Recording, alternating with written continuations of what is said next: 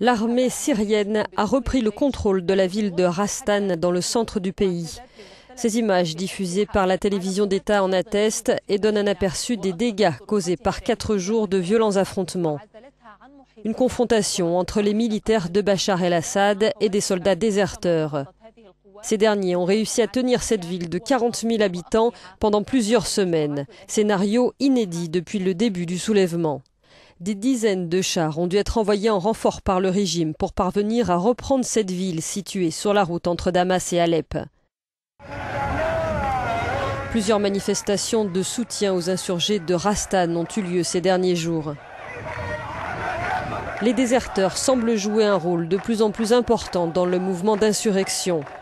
Outre la répression des manifestations de rue, désormais la Syrie est le théâtre de véritables scènes de guerre entre pro et anti-régime. أنصح البياضة 30